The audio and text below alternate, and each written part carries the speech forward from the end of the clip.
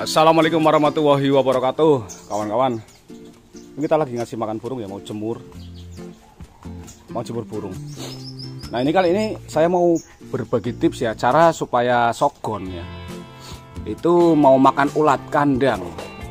Buat kawan-kawan yang belum tahu Bisa dicoba ya Triknya gitu untuk cara uh, melatih sogon untuk uh, biar makan ulat kandang itu pertama-tama uh, kalau bisa itu bahan ya. Pertama beli kita itu langsung uh, istilahnya dikasih ulat kandang gitu ya. Langsung dikasih ulat kandang. Kalau ada yang putih kalau nggak ada ya coklat nggak apa-apa sih nggak masalah.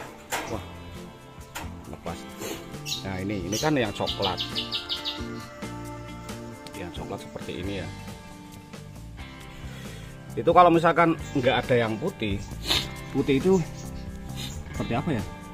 Wah nggak ada yang belungsung nih nggak ada yang belungsung ya adanya coklat semua. Itu kita kasih aja di sini. Sama dikasih pur dikit ya supaya buat makan ininya apa namanya buat makan ulatnya biar nggak mati. Ah pilek kawan-kawan. Kalau misalkan kita beli eh, bahan itu sebisa mungkin kita kasih ulat kandang langsung di eh, sangkarnya. Supaya apa supaya akan lebih mudah. Kalau misalkan udah rawatan lama gitu uh, ngelatih ulat kandangnya itu biasanya juga lama ya kawan-kawan ya. Kayak gitu. Kalau misalkan bahan itu lebih cepat.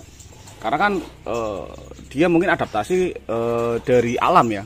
Karena di alam dia juga makan ini sih apa namanya? Ulat ya. Ulat-ulat pohonan yang kecil-kecil kayak gitu ya. Kasihnya dikit aja ya. Kalau misalkan burungnya satu itu kasihnya dikit aja 5 sampai 10 ekor aja untuk latihan kayak gitu. Tapi kalau misalkan burungnya omjongannya lebih dari satu empat tiga atau berapa itu bisa kasih ya kira-kira segini lah gitu ya. Kira-kira segini. Nah ini langsung saja kita masukkan di sini ya kawan-kawan ya. Nanti si burung itu uh, dia akan makan ya. Akan cepat cepat makan. Enggak kayak kalau misalkan bahanan yang udah lama kayak gitu. Kalau bahanan-bahanan baru itu dia akan lebih mudah atau cepat makan ulat kandang. Kayak gitu. Karena adaptasinya itu nggak nggak terlalu lama gitu ya di di sangkar itu. Karena di liarannya juga dia makan ulat kan. Entah itu ulat bunga ulat daun ulat e, pepohonan ataupun apa yang kecil-kecil kayak gitu. Kalau mau dilatih kroto juga bisa ya. Untuk pelatihan kroto nanti saya bikin tutorial ya. Biar dibagi-bagi gitu.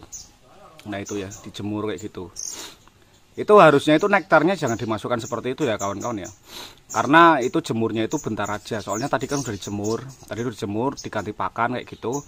Nah itu saya jemur lagi bentar. Nanti tak pinggirin kayak gitu di tempat yang adem kayak gitu. Itu juga masih di itu ya. Belum di itu semua yang di situ yang kerodongan-kerodongan pun belum pada keluar.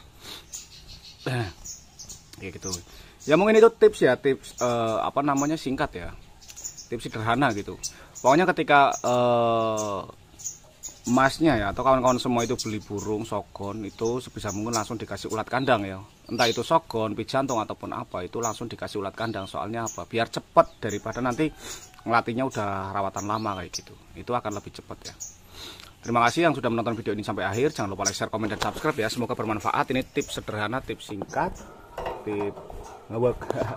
nggak ngawak sih sebenarnya cuma bikin videonya aja yang ngawak ya kawan-kawan ya. Makasih banyak ya semoga bermanfaat ya. Assalamualaikum warahmatullahi wabarakatuh. Salam kicau mania nusantara. Hahaha